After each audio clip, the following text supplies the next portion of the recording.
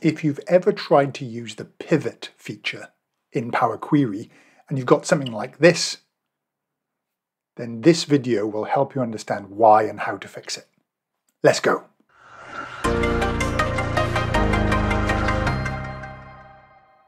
Let's take an example like this. Now, there's different ways to achieve the output here. Probably, you know, simply a pivot table could do this with CONCATENATEX using DAX or something like that. There's always different ways. But there's certain time I might just want this output. So I've got the people, the salespeople across the top, and the cars they sold by month. All right, so then if I simply add, let's say in back in January, uh, also sold a uh, Ford. I can right click and refresh and you'll see there you go, Jay's now sold a Ford in January. But if Morena, okay, let's go in here, she sells a Ford as well, and we'll refresh. There we go, Morena in January. All right, so what's the issue? Is that not just really straightforward? Well, if you've not done this before, then check this out. If you right click and say get table from data slash range, and you go into Power Query, and I simply try and pivot. So I click on the salesperson, I go transform and pivot column. Okay, it'll ask me sort of uh, what do I want to pivot on? Well, I want to put the car into the items and I can't, I don't want to count them. I actually want don't aggregate. Okay, click OK. Oh, what's going on? I've got these errors everywhere. Now this happens, you know, once in a while when I'm doing this pivot and I always forget what the reason is, part of the reason I'm making this video. All right, so what is the reason? Why is Tesla showing for Zara, okay, in Jan, but these are all erroring out. Well, if we go back a second and we have a look at Zara, the only entry for Zara in January is the Tesla. But Stu has got two entries in January.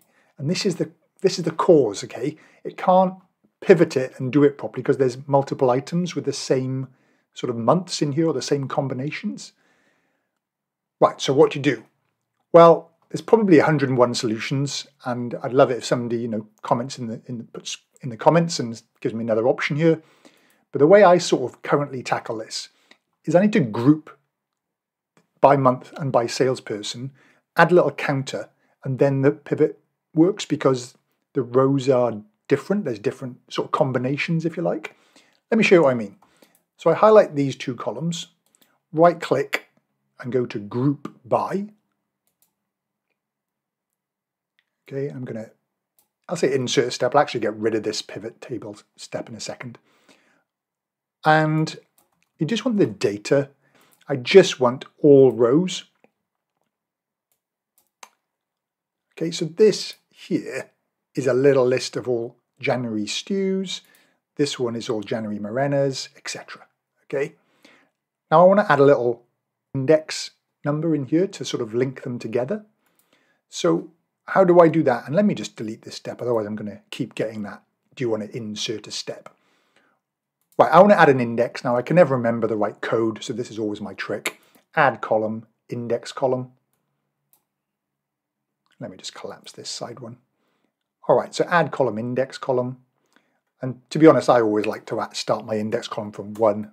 You don't have to, it's just a personal pet peeve that it starts at zero. All right, now what I want to do actually is add that little running total, that index, inside each group. So I'm going to highlight the formula and then delete this step. So the only reason I added that step was to get that formula. Then I'm going to go to custom column and paste that formula in. Okay, make sure you haven't got the equal sign. And then rather than grouped rows, I actually want to refer to this column of tables, which is called data. So rather than group rows, double click on data. Okay, just got typed over it. Click OK. And now inside this table is the various elements with the index. Okay, this one goes 1 to 3. This one was 1, that was Zara's one sale. This one goes 1 to 3, Zara's three sales in February. Okay, now I don't need the other columns, so right click, remove other columns, and then I expand this out. Don't use original column name as prefix, click OK, and I've now got a nice little unique reference, okay, grouped by each person. So now if I click on this and go transform pivot column using the car and advanced options don't aggregate and click OK, I've now got the results I need. Again, I can right click, remove this. Awesome. Close and load. Okay.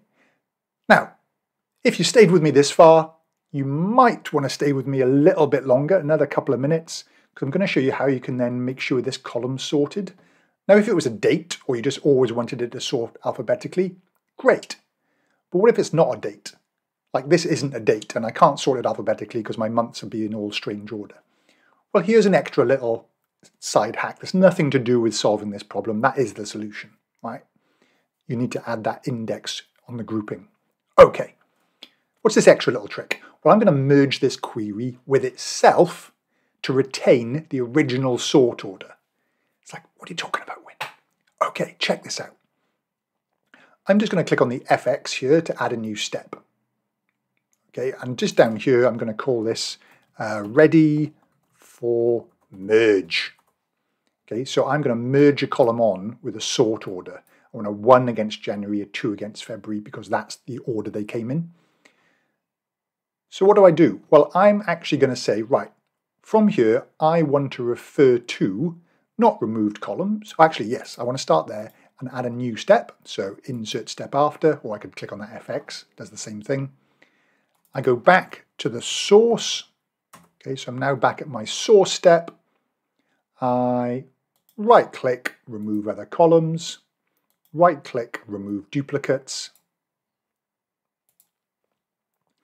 and then add an index column, and I prefer to start at one, it doesn't really matter at all.